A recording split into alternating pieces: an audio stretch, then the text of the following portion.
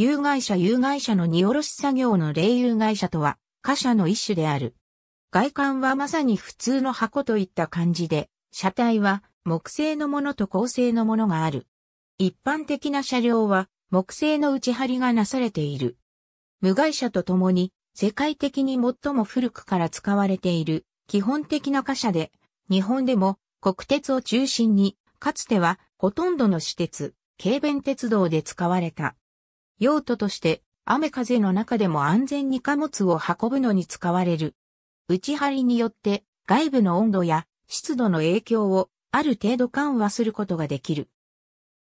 日本ではコンテナ列車が主流となっており、有害車での車扱い輸送としては、紙輸送のみが残っていたが、2012年に廃止された。廃車後、車体については使い勝手の良さと1984年2月1日、国鉄ダイヤ改正の際に不要となった有害車を一般販売したことから、店舗や物置などに多数再利用されている。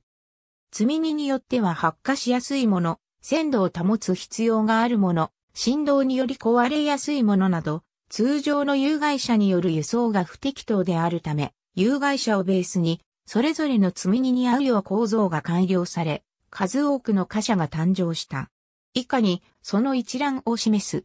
ワム9万系、ワム13万2546、ワム2万3000からの二段リンク改造で、ドアに筋のある一般的なタイプ。ワフ2万9500系、和フ2万9984大見鉄道和フ1、系、和フ1以下、記述は主に、貨車の知識の当該車種の項による。ありがとうございます。